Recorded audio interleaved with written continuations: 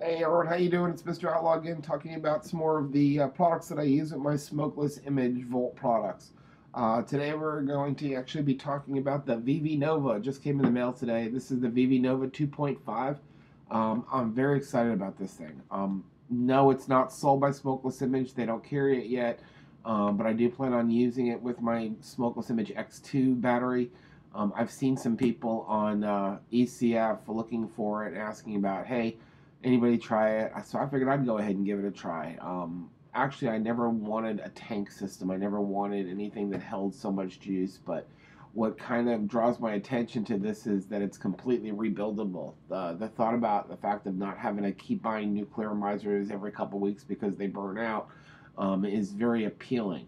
So let's go ahead and uh, check it out. Let's open it up. It comes in a pretty nice box here. Um, we'll take it out. Like I said, what I like about it, what draws my attention to this is that it's rebuildable. So, there we go. Comes in a nice foam case. It does come with three replacement heads. Um, it's available in um, 1.8 ohms, 2.4 ohms, and 2.8.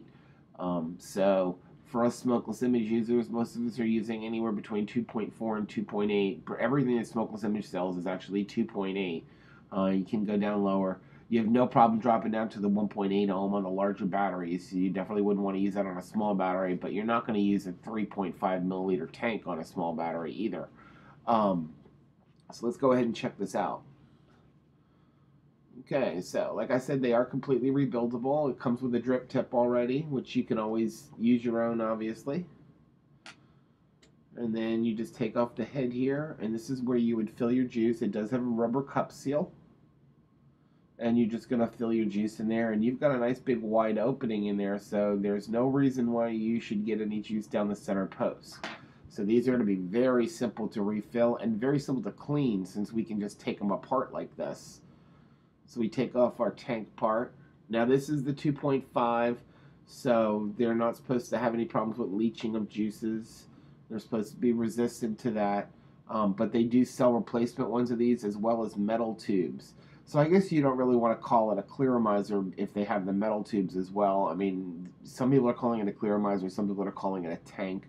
Um, I just, like I said, the fact that you can rebuild it. And rebuilding it is just basically the two main components that you would have problems with. One being the tank itself, and the other being the coil and the wicks, are both replaceable.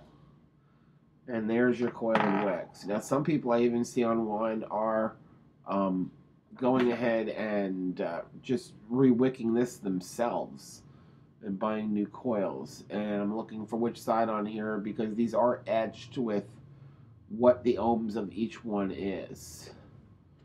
So, don't know if you're going to be able to see that, but there is uh, some etching on there. And just because of the way the light hits, you probably can't see it. Um, this is the 2.4 ohm.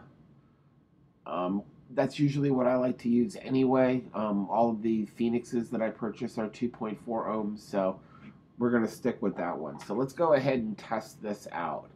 So we'll put our head back on here there is a little um, O-ring on there. It looks like so. You got to make sure you get it. You know, you don't want it so tight that you can't take it off, but you want to make sure it's tight enough so you don't have any leaking problems. Make sure you got your little rubber gas, uh, rubber uh, cup seal on there. We'll go ahead and put this tank on. And it does have the markings, so you know how much juice is in there and we'll go ahead and fill it up. Now, before we fill it up, I'm going to prepare my battery. Now, unfortunately, this is a 510 threaded uh, clearomizer, so to use it on our X2, we're going to have to use a um, an adapter. So we're going to put it. We always put it on the on the battery side first. It adds about a quarter of an inch Okay, and let's go ahead and fill it up. And I'm going to fill it up with uh, Vape Dude S'mores 7030.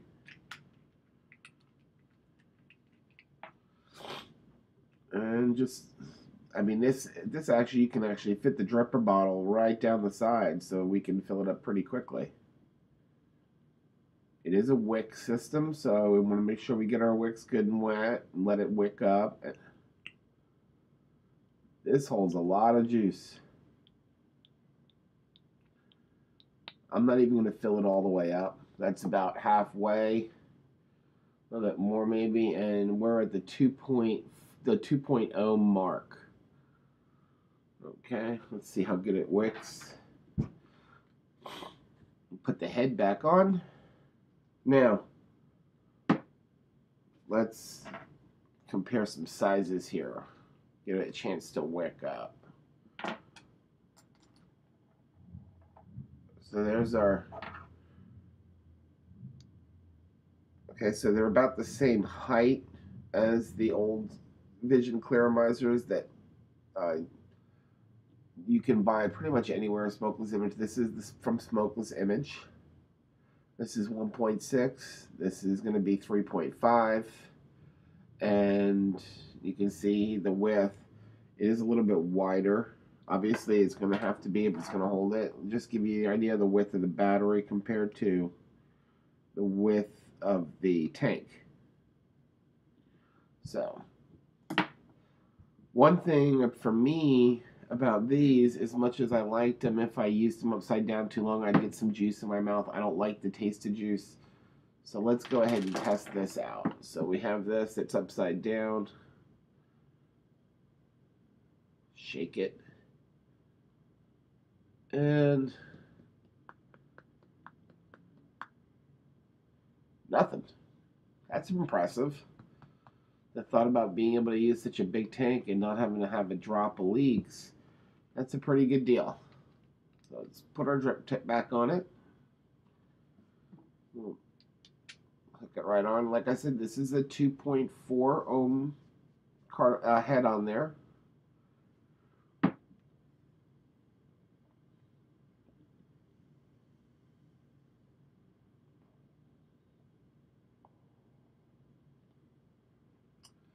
Gives a very good flavor, nice warm vape.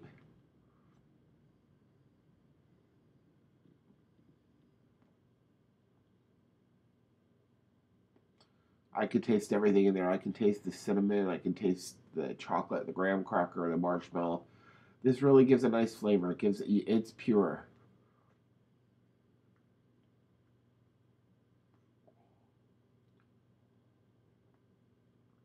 I like these. I think I'm going to end up using these. Um, like I said, it is a little big, um, but it's what you're going to expect if you're going to use a 3.5 milliliter tank. Um, I think it's a little bit smaller than using a cartomizer tank. So you're not going to have an issue with that, and uh, you can rebuild it. You don't have to go out and buy new cartomizers and sit there and punch holes in them. You can, you know, buy the new little heads, or if you're really good with stuff, you can buy a roll of wire coil and some threading and rewick them yourself. So this is a nice product. I'd be nice to see them come out with it in an 808 thread. Maybe if enough of us uh, bug smokeless image we they can get Vision to make them form in an 808 thread. But for now, I'll buy it like this. I'll use an adapter, and it'll be a nice thing to have at home so you don't have to change out your juice all the time. So, guys, that's my video. If you like the video, do me a favor, hit the like button for me. Uh, leave any comments you'd like. If there's a video you'd like to see me uh, demonstrate using smokeless image products, uh, go ahead and send me a message. I'll be happy to try to get a, to get to it and accommodate for you.